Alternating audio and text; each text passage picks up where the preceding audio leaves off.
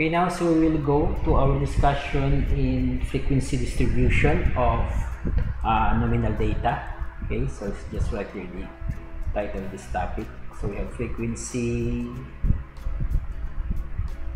distribution of nominal data. So if you can remember what is the definition of nominal data, so the definition of that is we are going to go back to the previous video. So it is refers to a property of the members of a group defined by an operation which allows making of statements only of equality or difference. So an example of a nominal data is gender in which we could differentiate gender into two so male or female so that is how nominal data works so if you are going to to have a frequency distribution of nominal data. So we need two criteria. So the first one is you must have the label for the uh, the so-called categories. Hmm, so categories. So label for categories or the statement of equality or different. so for example if your data is all about gender so you must have a label for gender then the next one is you must have the frequency okay so for example so it's just of color green. So we have in a certain survey, so it's found out that out of 750 uh, students of engineering, so let's just have that one, engineering, so uh, 250 are females. And the remaining so 500 are males so if you are going to have a frequency distribution of this one so let's just uh, draw the table. So our table would consist of two columns. Two columns and three rows. Okay? So it's just okay so we have this table now just stretch out this table.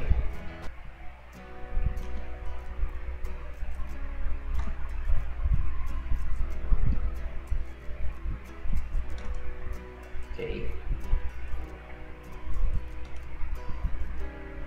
So we have here I believe we have uh, one extra row.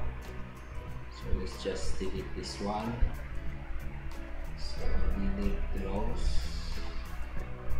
okay so we have the first we will we will have a label here for the gender. So this will be the gender. Gender. And this the other one will be for the frequency. So we have the the categories or the the statements gender. So it could be male it could be female. Then we will have how many males? This will be 500 how many females? This will be 250 then we could add another column for the total. So let's just insert a table here.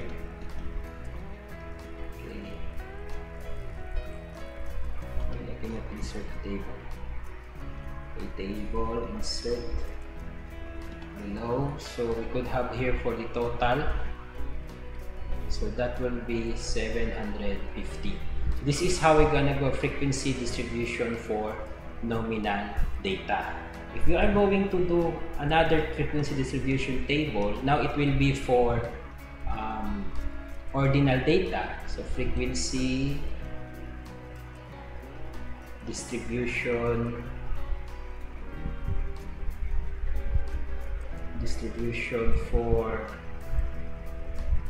ordinal data So we have first, we have first the first column, the label must be again the statement or how the data are ranked, so or the ranking of the data.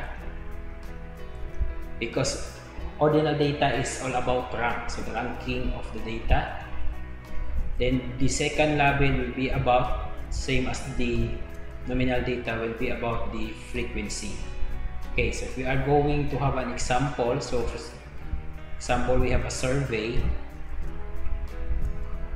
So a survey that um, a survey, a certain survey about the online class. No? So online class, so there are uh, 800 uh, 800 students surveyed for the online class.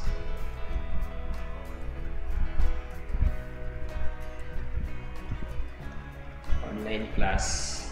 Okay, so they are asked if they are in favor, uh, in favor, um, or slightly favorable, or they are un unfavorable. So, for example, we have um, uh, 80 are in favor, so they are favor favorable.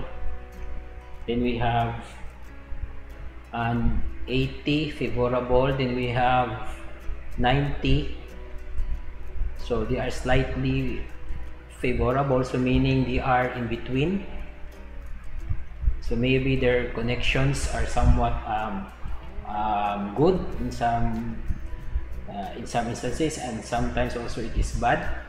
Then the remaining so this is 170 this 170 so 170 minus minus 180 that will be 630 so 630 are unfavorable. So if you are go so these are their perceptions so we could call this one as perception towards online online learning or online class. So we could draw a frequency. If we are going to draw a frequency distribution for this one. So we have again two rows for the statement and the frequency and we have one two three. So three uh, two columns for the statement. So that will be the perception and the frequency. Then one two three uh, four. So four rows for the for the perceptions and the total. So we could insert a table. So we have one two three four. So with the label itself so we have five. Okay, so okay so we have here the table. Guess the table was not put on the right place. So let's just repeat the table. One two three four. One two three four five. Okay so we have this one. So let's just extend this table.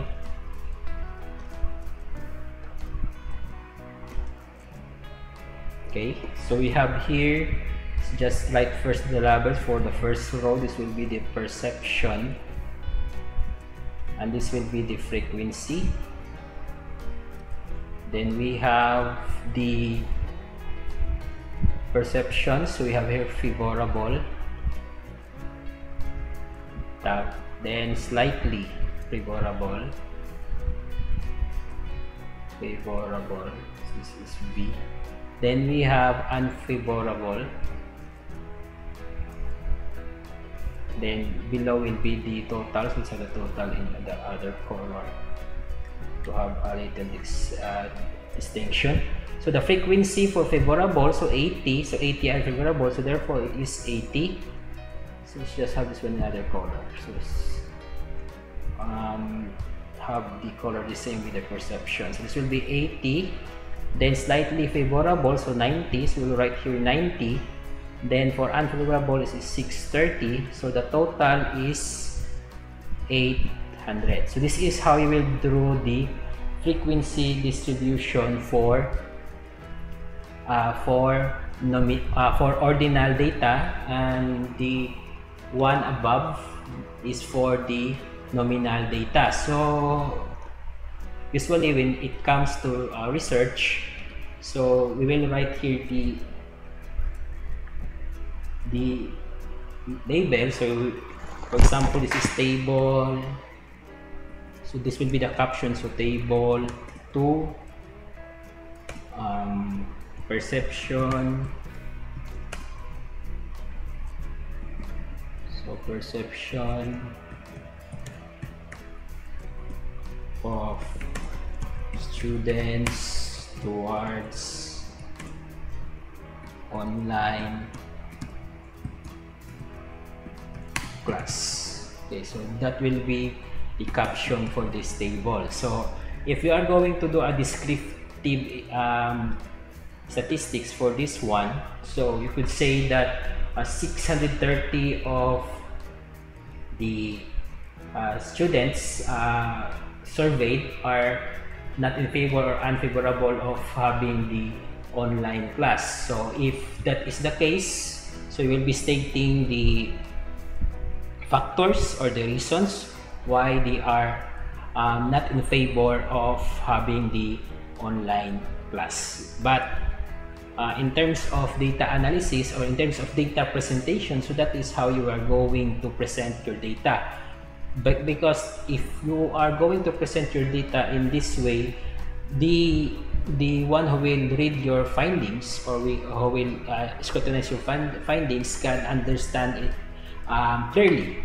by just looking at it we could see that 630 are unfavorable of having the online class okay so in next video we will have a uh, discussion about the frequency distribution for group data. Okay, so thank you for watching and as always, keep on studying.